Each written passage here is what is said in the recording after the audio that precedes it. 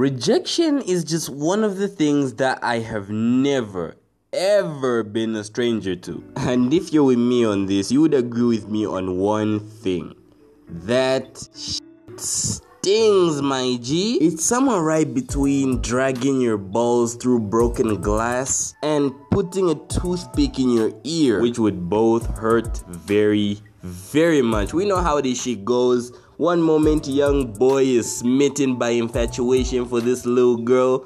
Yeah, once the boy starts showing the girl some interest, this girl curves the.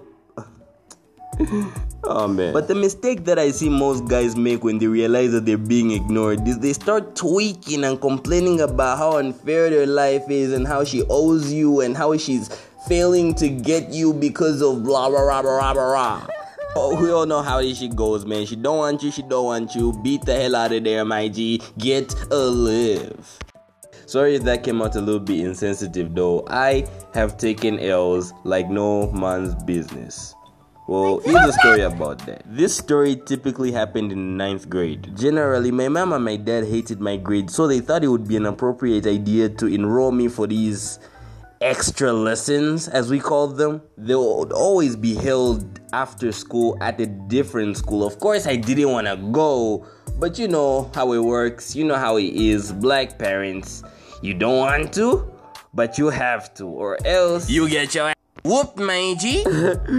I really had no choice. So a week later after school, I walked in for these extra lessons and just as I'm stepping on the toes of the door, I see the finest long legged, plump lipped mamacita I have ever set my eyes on. Her skin was dark as chocolate. Her she had just the right curves at the right places, and there was just something about her. I wanted her.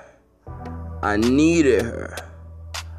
I finna have her. And I could swear on my phone that when I say something about her facial features reminded me about Rihanna, I know what I'm talking about. You know what I'm saying? Of course, it might have been her big forehead, but I don't know. I don't really remember. So I walked up to where I was supposed to be seated. I waved at her and I didn't even look if she waved back. I just waved and looked away. I don't know if it was just a gesture to show that I was confident enough to make contact with her, but yeah, I waved at her and I didn't even see whether she waved back or not. I know, I know, I messed up. That was a move. I, I couldn't make eye contact, bro. I was shy, bro. I was nervous. My mouth was dry. My palms were sweating. I couldn't handle it.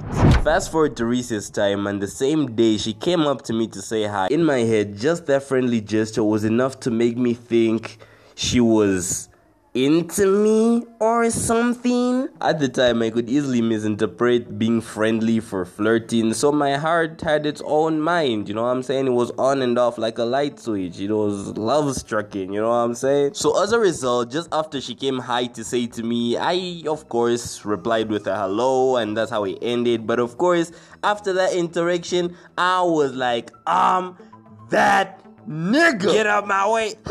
I'm a playboy. Two three, four days go by and the interactions are just the same. She comes over to me, she says hi, I say hello, and she dips out. I thought to myself, hold up, I wanna switch it up a notch.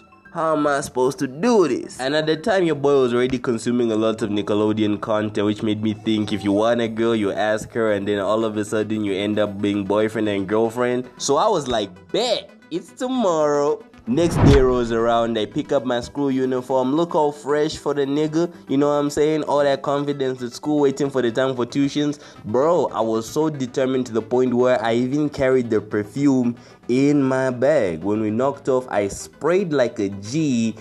I talked to her for a bit. I even sat with her. I asked her if she wanted to take a walk with me the moment we knocked off. Recess time rolls around. I tell my boys to wait for me, right? And then I just go escort this girl this sexy mama, my future wife to be. I was gassed because my expectations were too freaking high. There we are, walking and talking on the road. I'm feeling my manly confidence. She's being all feminine and funny. So at this point, I'm like, haha. It's go time. I stop her and hold her by the hand, and this is how the conversation goes. So, um, Sophia, I've really had fun with you the past few days. Uh, really? Um, thank you. I've had a good time with you too, Kalaluka. Um, yeah, thank you. And I just wanted to let you know that um, I just wanted to let you know that uh, I, I I like you.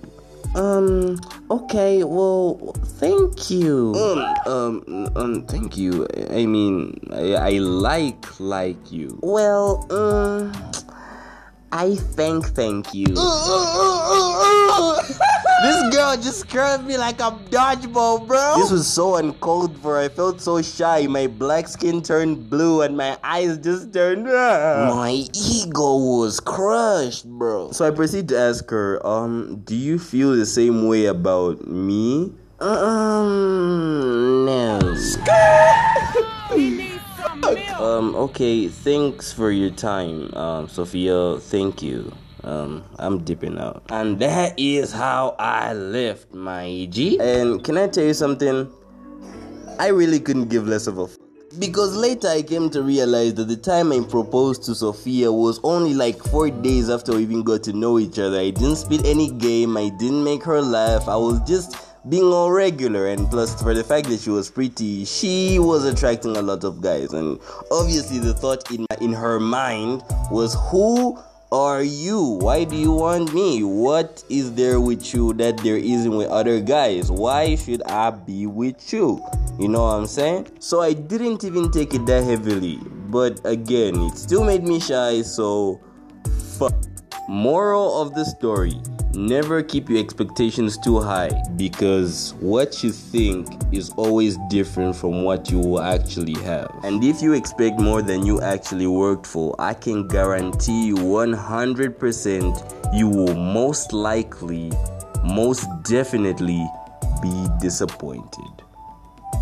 What's up world? Thanks so much for watching this video. Thank you very much for those who supported me from the next video. If you haven't seen the last video that I uploaded, I would suggest that you do that because that one could give you a lot of laughs than this one actually did. So subscribe if you like the content. Make sure you drop me a like. And I like constructive criticism. So if you see that something was a little off in my video, make sure you go down there and give me a little bit of constructive criticism. If you want, you can dislike them videos. Make sure you you know what I'm saying? Just engage with this content. But otherwise, update. I'm going to be uploading twice a week, every Tuesday and every Saturday.